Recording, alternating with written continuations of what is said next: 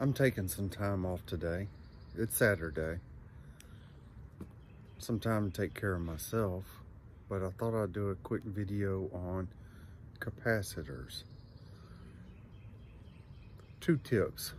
I'm gonna teach you something I learned in trade school that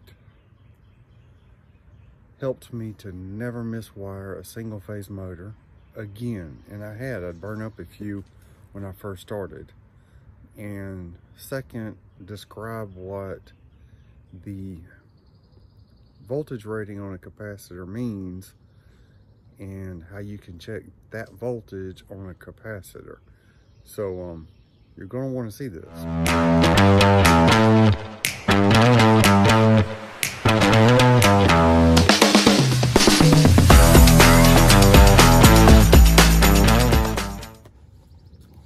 Right, I got a couple of capacitors out here.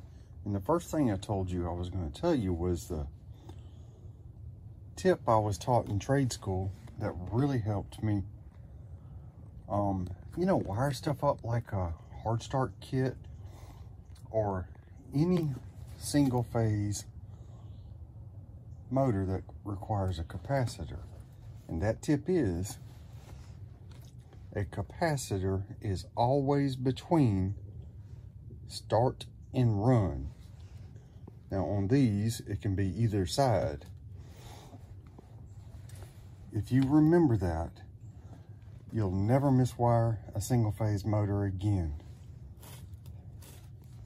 Now, these, if you look right here, there's a C right there. You know, I really wish they wouldn't put a C right there because that's misleading. If you trace that back to the contactor, that's the run winding. It's not common. So this is run. This is start for the compressor. And this is start for the condenser fan motor. So the capacitor is always between start and run. Second, I wanted to go over this 440 volt rating on a capacitor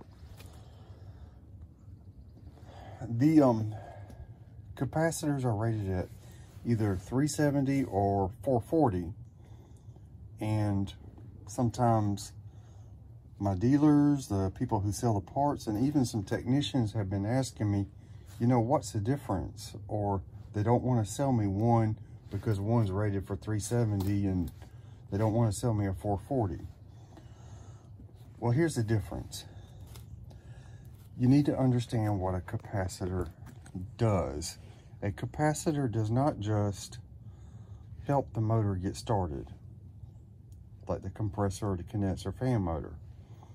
It also helps to deal with what's called back EMF, and that's back electromotive force. And the best way to explain that is once let's just talk about the compressor for a second. Once the, this helps this winding to get the compressor started, this winding is basically not in use. And if you think about the windings of a motor, they're very similar to the windings on a generator. So if this winding's not in use and the motor's turning, it's going to treat, create electricity that flows backwards to here. Now the capacitor helps to deal with that to keep from creating problems with the electricity in the system in the house.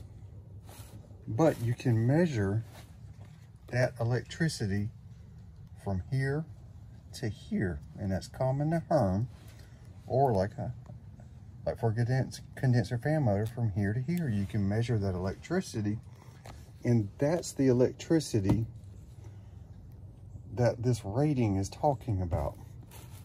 If it's a 370 the capacitor has the ability to short if the voltage between excuse me common and Herm become too high above 370, that capacitor may short. But if it's rated at 440, it has to get considerably higher before that capacitor is outside of its rating and has the possibility of shorting. So if you buy, by mistake, a 370, yeah, it's probably gonna work, but the 440 is just a better capacitor. All right, that's it for this short little video. I hope it was helpful to you. I thought I would share a little something with you about myself. One of the reasons I started doing these videos is because I really want to pass what I know on to other people. And I don't have any children to pass it on to. Maybe that's too much information, but uh, that's really the reason I started doing the videos. Thanks for watching.